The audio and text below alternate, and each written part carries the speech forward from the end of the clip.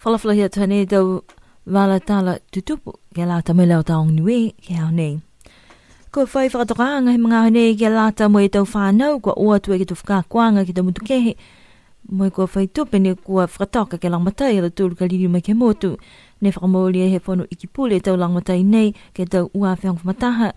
Whakamahino malo tūru kua katoa toa o se tau whakakuanga mo e liriu mai ke ngahua ke motu.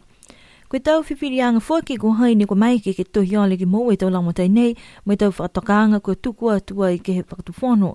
Koe tau langmatai tupe ni ko mai ke ke moa, ko uta whakapahi ai hangau ke he tau pepa whakamailonga ni ko moa. Ko lo tōru ka mōwe tau whakamailonga certificate, mai ke ai ke ole atu ke he ua e awhitala. Whakamailonga diploma, koe lime awhitala, mai tau pepa whakamailonga degree, hoko atu ke he hongo furu e awhitala. Nā kai na mahino ke mga honei ko toko whihalo tōru ni ko tuku atu mai whakaonga tau langmatai anga nei, a i loa ko whaitanga toko whitani mō e tau langmatai ke ririu mai ke motu mo ngā hua. Hai ne whainga hua whalu tō whānau aonga toko runga ke whakaako e tau puhala tau sikai, ke whetoko he whiua junior chef ne ko whakataka mai taonanga kai ni ka whakahoko ai ke motu mai aho hong ke aho uofu i i spetema. Toko whaolo le tōre to whānau ne kua kaupuna taha, mai toko whae tangata whakahako. Ko Pauline Rex Blumsky, Patrick Jacobson, Donna Ranfurly mo Renee Richardson, ko lo tuluia ne kua tuku atu ke whakako e tau ke mō e taulo matala ke te puhala ke kehe ko mai ke ke tau stau kai, mai he toko loa ne hae ke motu. Koe whakatakarang he mga honei, ke kamata mai hao whae au kus ke honku atu ke hao hongfu maui e spetema, ke whakako mo i whakataitai, to sivi tau kai kua tause, mai whailoa i ko hai ni kua kautu ke he aho uafun maua i a sepetema.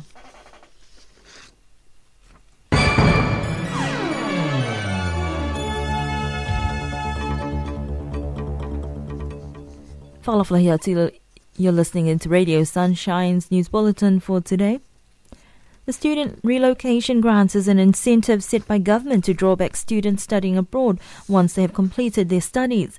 This policy was passed by cabinet in 2011 specifically to assist returning students to return home to put their qualifications to use. However, there are set criteria that students need to meet when applying to get this assistance. According to sources, funds available are dependent on the level of qualification attained. For those who return with a certificate, they can apply for up to $2,000. For those who have a diploma, they can apply up for up to 5000 and those who attain a degree level can apply for up to $10,000. It is unclear how many people have taken up this offer or how much has been used, but there are also guidelines on what these funds can be used for and at Cabinet's discretion.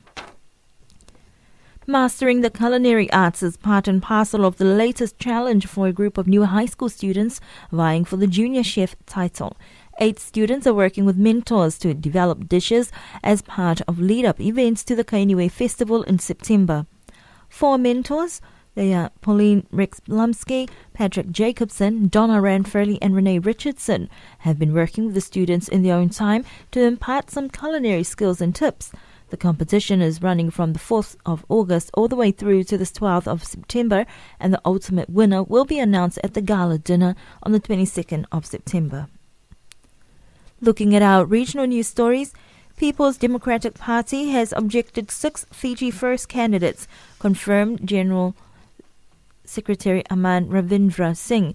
Ravindra Singh chose not to disclose the grounds of the objections. He said the Fijian Elections Office is yet to inform the party of its decision. The party is also waiting for word on an appeal for review against four of their candidates whose nominations were rejected by the Elections Office. Fiji Live understands that the Fiji Labour Party has objected to two, two Fiji First candidates, whilst the Social Democratic Liberal Party filed against the National Federation Party candidate nominee Kele Leawere. All parties are still to receive word on these. Likewise, Sodapa on an appeal against the rejection of Anare Jale's nomination. Longline fishing vessels will be the next issue parties to the Nauru agreement will be targeting to engage in the Vessel Day scheme to generate more revenue for member nations as well as co- control tuna harvesting in the region. Director of the organization, Dr. Transform Aqorau, highlighted during his presentation at one of the PNA organization media training at Novotel Hotel. He said currently VDS focuses on purse seiners where the vessels are buying days to fish in PNA waters. Under the scheme, PNA sets a limit on the number of days that can be spent fishing in their waters. Each country has an allocation of days that can be sold and traded. This raised revenue from fisheries from a few thousand a year to a minimum price per day of 8,000 US dollars per day. There is heavy pressure on the Western Pacific tuna stocks from record setting catches over the past several years. A record 2.65 million tons of tuna was hauled from the Western Pacific in 2012, valued at 7 billion US dollars, compared to a marginally smaller catch last year.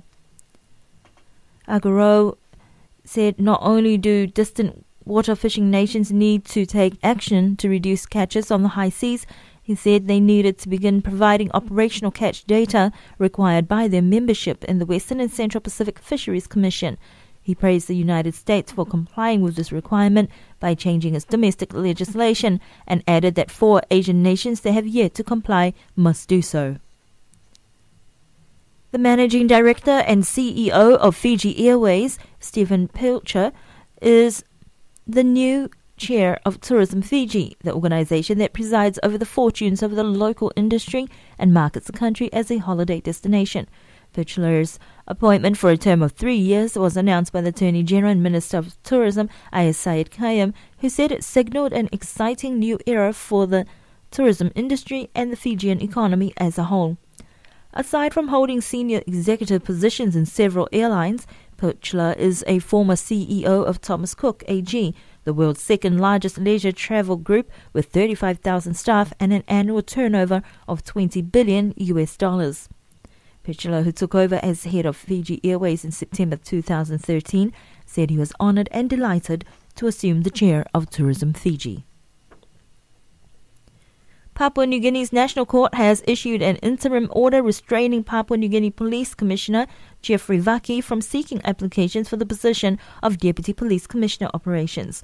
The order was granted after an application was filed by former Deputy Simon Kauba to restrain Vaki from accepting applications, interviewing applicants, and appointing applicants to the position of Deputy Police Commissioner Operations. Kauba's lawyer submitted that on the 14th of August, Vaki issued a police gazette inviting interested candidates not below the rank of Assistant Commissioner of Police to apply for the position of Deputy Police Commissioner Operations. In response, PG submitted that the Section 56 of the Public Service Management Act 1995 did not apply, as Section 49 of the Police Act stated that the term of service for a Deputy Police Commissioner and also grounds for his or her removal. After hearing submissions, presiding judge Justice Colin Makail granted the order after being satisfied that there was a serious question to be tried and that the balance of convenience favored the granting of the order. The NRL Rugby League star Sonny Bill Williams is proud to lend a hand in the development of local players interested in the sport. In a press conference in Samoa, he voiced his pleasure in supporting schools and communities boost their interest in the sport. He was escorted around town by the local rugby league officials and also met fans and signed autographs. Williams was in Samoa as part of a high profile delegation to launch the NRL specific strategy in Samoa. He is travelling with the NRL Chief Executive Officer Dave Smith and Kangaroos coach Tim Sheens. The Kangaroos coach also stated that the interest in the NRL now in Samoa is incredible because now that they have qualified for the Four Nations tournament, which will start on the 9th of November this year.